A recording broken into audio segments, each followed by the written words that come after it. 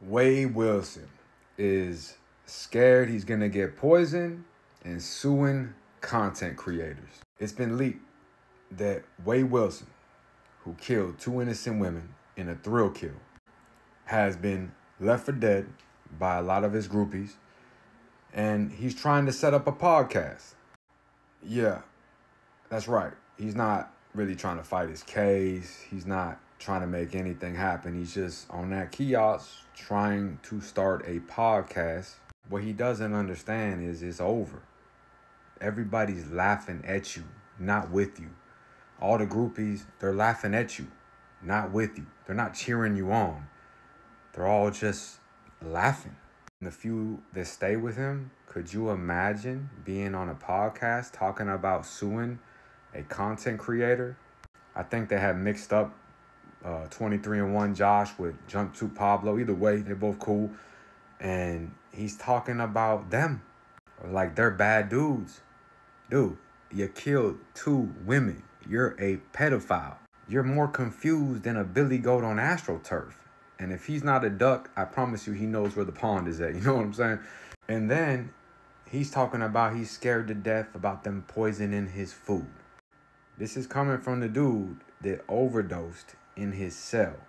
What do you think is going to happen when you make a phone call talking to random men and women that you're in love with, that you're basically using and abusing as the only form of power and success you've ever felt in your life is when you were on death row and the most loneliest, evil, just people reached out to you.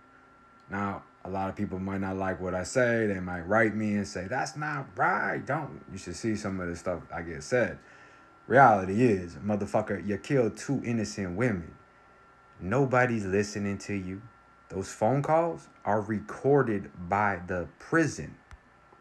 You can't be out here loving your little fame and doing all this cool shit, laughing and, you know, hanging out with your little lover boy or whatever's going on and acting like you didn't get your teeth knocked out on your first bid because you owed like $500 for dope and you were willing to do anything. We call him a pressure pump. What is a pressure pump? He's a dude that he has no sexual orientation. His sexual orientation is to get high. What's a pressure pump? Well, he's a fine example. Wilson is.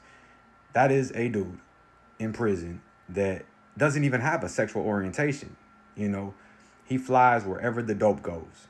Whether he's got to take one, give one, whatever it is, that's what he does to get high. And he was doing that on the streets 100%. And now, of course, dudes are going to poison your food. Bro, you are walking around with like four organizations tattoos on your head that you did in protective custody. You killed two innocent women. And what you think? People are going to look up to you like you're some cool dude? Oh man, can you put me on your podcast, dude? You're fighting lethal injection for killing two innocent women. And you're mad at Jumpsuit Pablo because you're on a phone getting exposed for who you really are because you're not smart enough to say, hmm, yeah, I have thousands of people that are, are giving me money, laughing at me, and I'm loving it. Let me just act crazy on these phone calls while I'm on death row in a high level, high custody case, high profile case.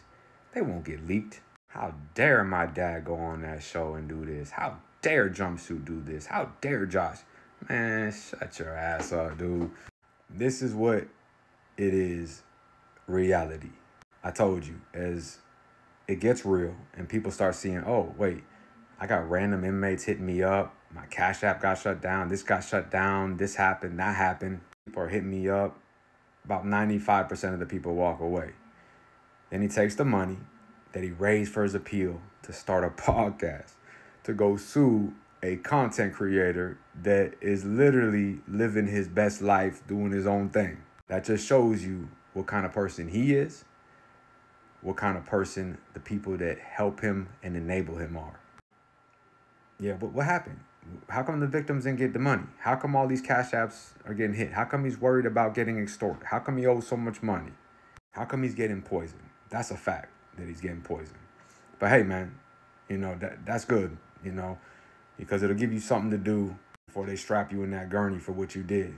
Stay out, stay free, us.